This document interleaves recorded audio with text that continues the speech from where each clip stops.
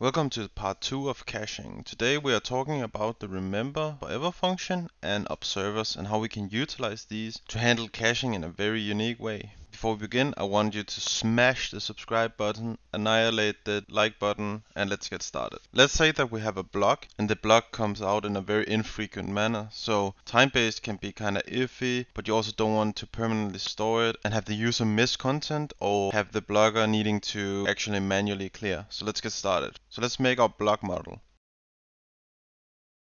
We pass in the M for migration, C for controller, and F for factory. Okay, let's set up the migrations real quick. A block might have a title. And let's add a body as well.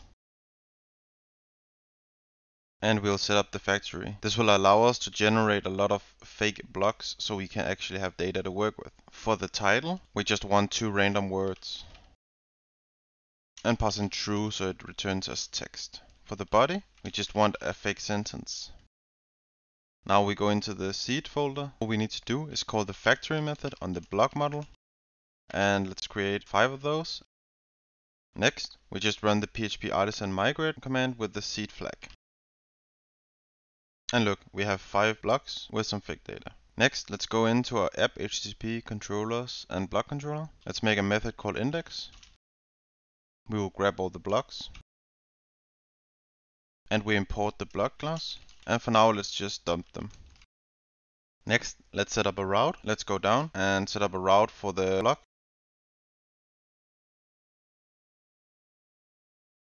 And finally, let's visit that URL. And we get all the five blocks that we expected here. But since we know all about caching, returning all the blocks can be very bad. So let's set up some caching. We're going to call the cache helper method and we're going to call the method remember forever. It takes in a key and the second parameter is just an anonymous function that resolves in case there's nothing found in the cache.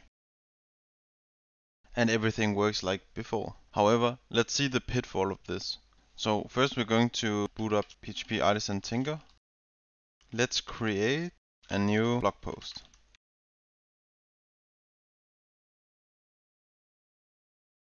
So as you see here, we have a sixth blog post now, meaning let's refresh now, but it doesn't show. If we call PHP artisan cache clear, now it shows, but we don't want to do this manually. So how can we resolve that? This is where I like using observers. If you have something with like very infrequent update rates and you really want to just cache it for performance issues, if you want to make sure that the cache is just cleared if any change happens, like a new blog post comes out, a blocks get updated, anything, then observers is a really good tool. Let's make our first observer by typing php artisan make observer Laravel will now create a new folder called observers inside the app folder. So before we start, we need to make sure that our application is actually going to use this class. So to do that, we need to go into providers, app service provider, and inside the boot method, we're going to call the model, which is block, and let's import it here at the top. And we need to call the observe method on it. And we just pass in the block observer class that we just created. Now that's all set up, let's go back. So before we code the actual functionality of the observer, I'm going to show you how to code a nice trait. We are going to create a new folder called traits inside the app folder. And here we're going to make a file called handlescache.php. Open with PHP tags and define the namespace as app traits. And since this is a trait, we need to open with the trait keyword and just call it the same as the file handlescache. And all we need to do is make a very simple function which I'm gonna call handleCache and it accepts one parameter, which is an array of the cache keys that we want. So all we do is loop over the keys. We will check if the key is not present in the cache. And finally, we will remove the item from the cache. Now we go back to our block observer, and now we just need to import the trait, which is done within the class.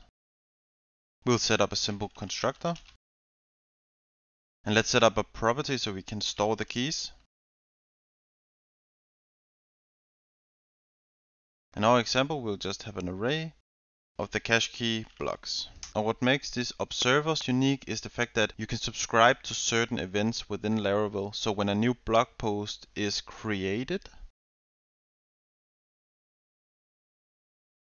Laravel will actually call this function and pass in the actual block, which we don't really need because we're just going to clear everything. So all we need to do is call the handle cache method that we just created. And because it's a trait, we can just call it like it's within this class because it actually is. And all we pass in is our cache keys. Now we have a bunch of other events like updated, deleted, restored, or force deleted. The latter of two is when you have set up soft deletes. But creator will do just fine for us now. So let's go back to Artisan Tinker.